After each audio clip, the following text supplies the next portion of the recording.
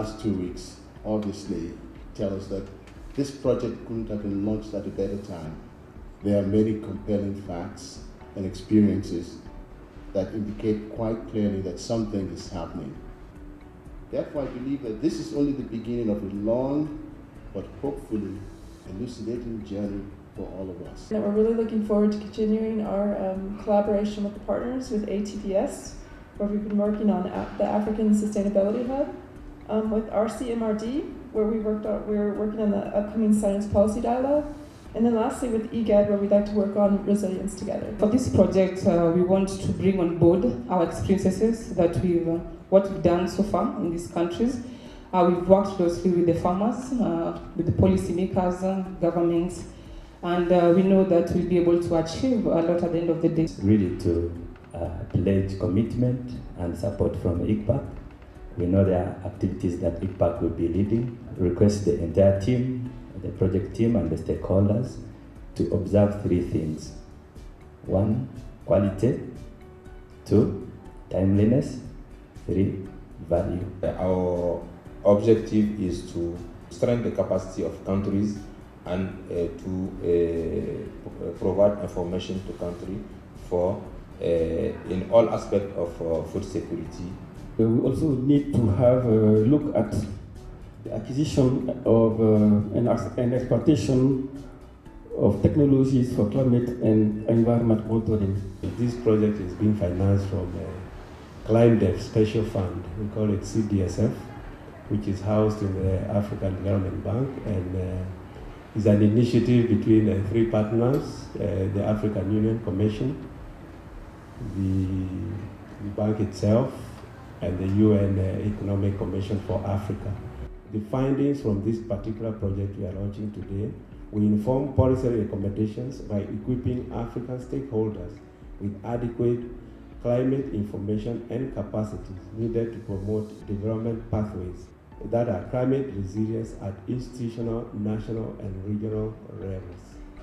We at the ATPS like working with like minded institutions, and that is why you can see the partnership uh, we have on this project is very vast, based on specific capa capabilities and institutional mandates from all the participating uh, institutions. The resilience to climate impact is going to depend on the socio-political economic information.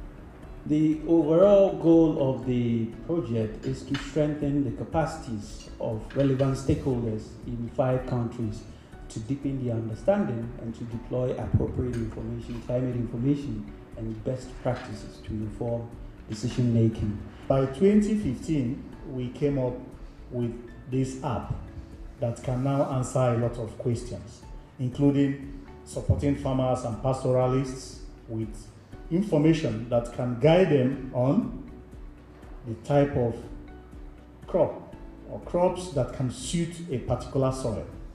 Because the app will tell you the name of the soil, where you are, tell you about the temperature, tell you about average uh, uh, humidity, tell you about um, rainfall, tell you about the number of year, uh, days of uh, agricultural productivity that can that soil can support based on prehistoric data because we have data running up to 100 years uh, that we have used to develop uh, this uh, uh, app.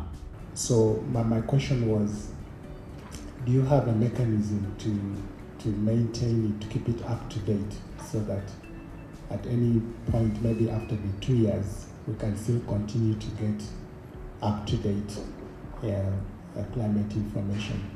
So we want to carry it on so that every time people can come there is active. So it's a long-term project and it's something we are dedicated uh, to. Is there a plan, maybe under this particular project, where you also link uh, farmers with where to assess seed. Uh, assuming they use the app and says, okay, the type of uh, crops that is fit for this soil. Yeah, so, so we, we have not done that now. This is exciting. Thank you very much. What we have done now is to link uh, farmers to crops um, in terms of which crops are um, ideal for specific uh, types of lands. So, so that is something we have taken note of in terms of um, the seeds.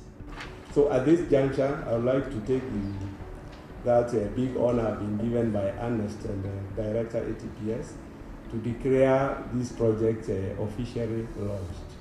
So thank you very much.